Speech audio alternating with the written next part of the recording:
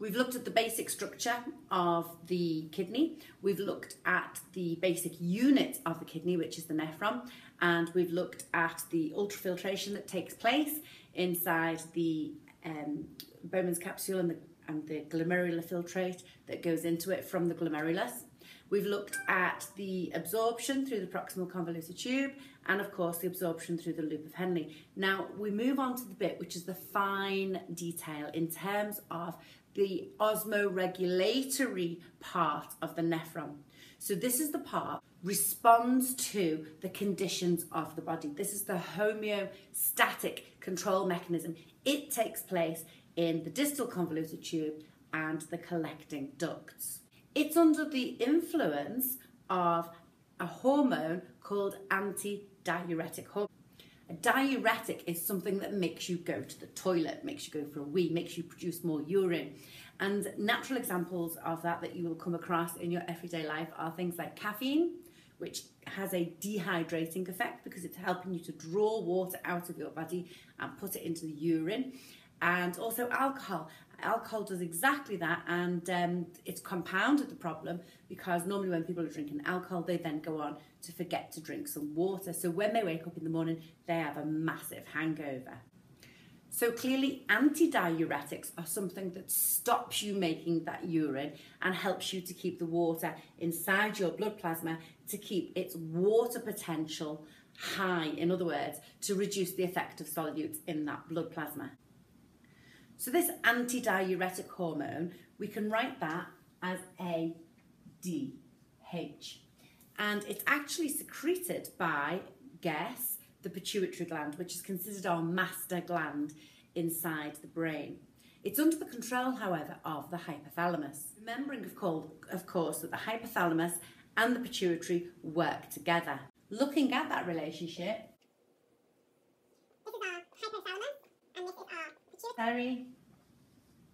And what we've got is our neurons, our neurosecretory neurons, hanging out like this in the pituitary gland. And they actually store the hormone there ready for its release. So this is unusual. We've not seen it before. What we're talking about is a neuron that's secreting something directly into the blood. It gives it a neurosecretory role. So if the blood capillary was going past there, as it's released into the blood and off it goes. So let's consider the trigger for this antidiuretic hormone. So let's just think about the word antidiuretic. A diuretic is something that makes you go to the toilet. So an antidiuretic is something that stops you from going to the toilet. Why would you want to do that? Because you're thirsty, because your blood solute level has increased to, and it's made your water potential decrease to a level that your cells in your hypothalamus, your osmoreceptor cells, have noticed. And the reason why we think that they notice this decrease in water potential, the increase in solute concentration, and the desire to keep water is because we think that as the blood passes through these, water moves out by osmosis and they begin to shrink. That then communicates with this cell. This cell sends a message down here to release the hormone, antidiuretic hormone, into the blood. Okay, so that's going to travel now, basically, we're going to talk about it a little bit more, but it's going to travel to the kidneys and it's going to stop it from making uh, watery urine, if you like, urine that has a high water potential. Okay, so let's create a flowchart for where we are so far.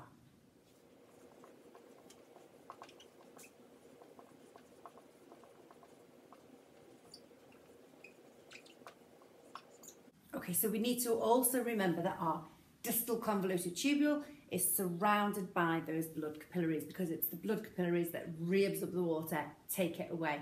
And of course that reabsorption only goes on because we've got a diffusion gradient, so it's important to keep that in mind. So, so far what have we said? We've said that imagine you get thirsty. In other words, your solute concentration increases, which means your water potential of your blood decreases. How is it detected? It's detected in the osmoregulatory centre of the hypothalamus. The cells begin to shrink because water moves out. That sends a message to your neurosecretory cells, which connect your hypothalamus and your pituitary. And the terminal ends of those bulbs, which are storing the ADH, release it into the blood capillary. That hormone, antidiuretic hormone, then travels all over the body and it will end up in the blood here.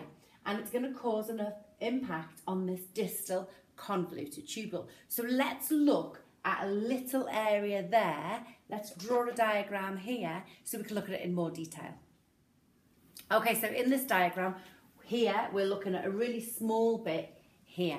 And of course, this um, blue triangle bit is my antidiuretic hormone, which has been released from the pituitary gland. It's travelling all over the body, but of course it will only cause an effect here because this is where the shape, remember, if we're talking about a hormone, it's a protein, so its shape is complementary to its receptor. So I'm just going to draw the receptor in blue also. That's sticking on there. Again, it would be full of receptors, but I'm just keeping it really simple by drawing those. That's going to fit into there, so the antidiuretic hormone is going to fit into that glycoprotein receptor there, and that then causes a change, an activation of one of the enzymes inside the cell, and that enzyme is called phosphorylase.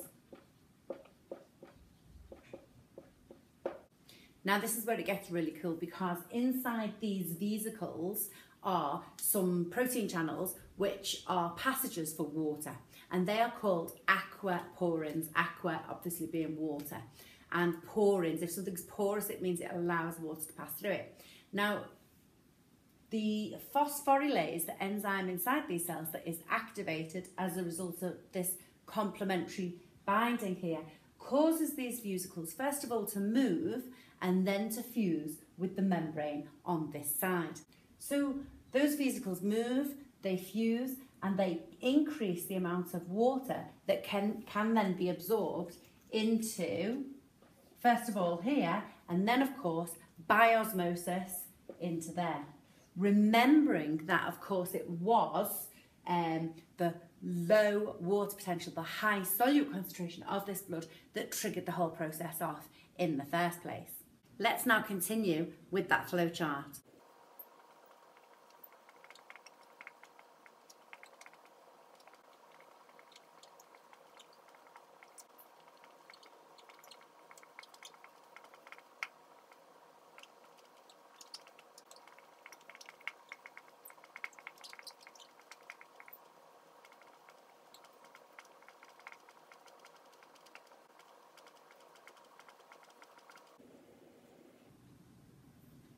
Now, the bit that Francesca doesn't tell you about is the effect of ADH, antidiuretic hormone, on this collecting duct.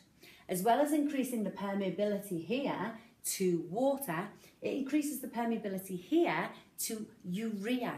Of course, we've just absorbed a lot of water into here, so we've reduced the water potential of the, of the urine itself. So the relative concentration of urea in here is high. So by ADH increasing the permeability here, what's going to happen is urea is going to diffuse out into the interstitial space.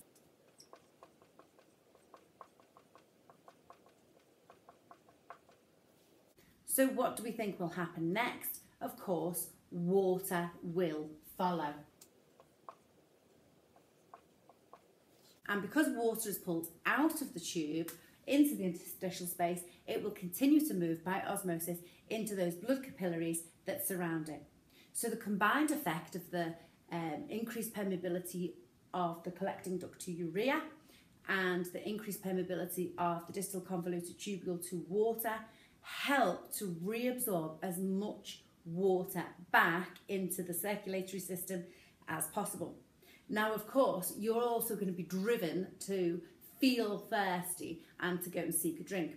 Because all you're doing is actually reabsorbing the water that was in your blood already. You're just reducing the amount that you lose. You're not actually increasing it at all. But what will happen is you'll feel thirsty and you'll seek a drink. So you've reabsorbed as much water as you can back into your circulatory system. What happens next? Well, your brain detects the increase in water potential because those cells in the osmoregulatory centre of the hypothalamus suddenly start to absorb water again by osmosis and they're not so shrunken.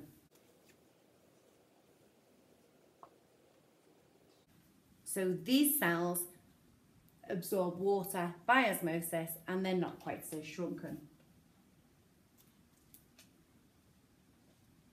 So of course if our osmoreceptor cells aren't as shrunk, they're not stimulating these neurosecretory neurons as much, which means that they release less impulses down here, which means that they release less ADH. Well, what impact does that have on the distal convoluted tubule? Well, these aquaporins that did exist are now taken out as the cell membrane invaginates and recreates a vesicle. And the vesicles reform ready for an increase in ADH. So do you really know this topic? Could you construct the flowchart by yourself? Could you construct the flowchart backwards? In other words, imagine you've drank too much water, you've got an excess of water, and you need to lose it. Could you do the whole thing all the way through with as many steps as possible? Can you answer these questions? Imagine that you've done some vigorous exercise. Would that cause more ADH to be released or less? Imagine that you've had a day out at the seaside, you haven't had anything to drink and you're dehydrated. Is that more ADH or less? Imagine that you've just drank a litre of water. Would that cause more ADH or less? Imagine that you